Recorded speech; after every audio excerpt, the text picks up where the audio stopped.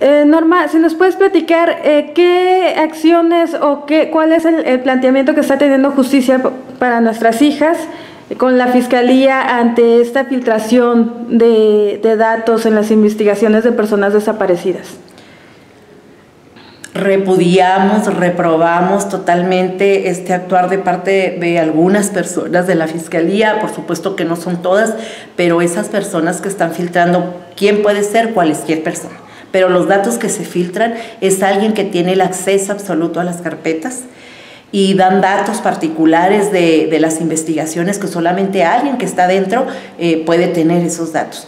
Repudiamos y reprochamos este actuar de la Fiscalía y más aún este, también reclamamos y hacemos este reclamo que desde, la, desde el alto mando de la Fiscalía, que es el fiscal general, no hagan absolutamente nada, solamente se limiten a decir que eso es la falta de ética de los periodistas, que por supuesto que también es una falta de ética de los periodistas que pregunten y que invadan ese espacio particular que es de las víctimas, eh, pero también esta parte se da de ambas partes, ¿no? El, periodista irresponsable que, que solicita información eh, que debería de estar, eh, no de ser invasivo en ese, en ese tipo de, de, investigación o de información, y el quién le proporciona esa, esa información. Ambos son responsables, pero por supuesto, pues el que otorga esa información tiene mayor responsabilidad. ¿Ustedes tratan directamente con las familias? ¿Cuál es la reacción o, cuál es el pensar de, de, las familias al ver este tipo de información? Es mucha la indignación.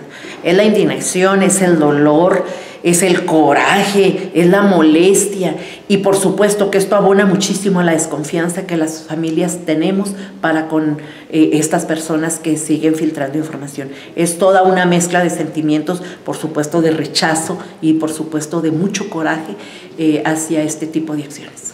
¿Qué le dirías a la sociedad en general para evitar la revictimización?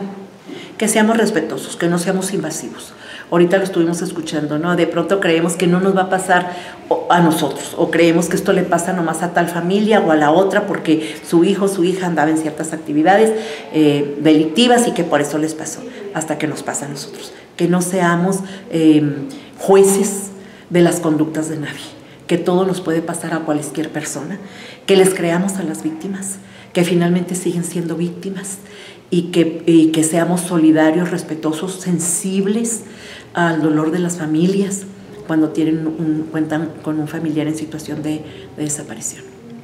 Gracias.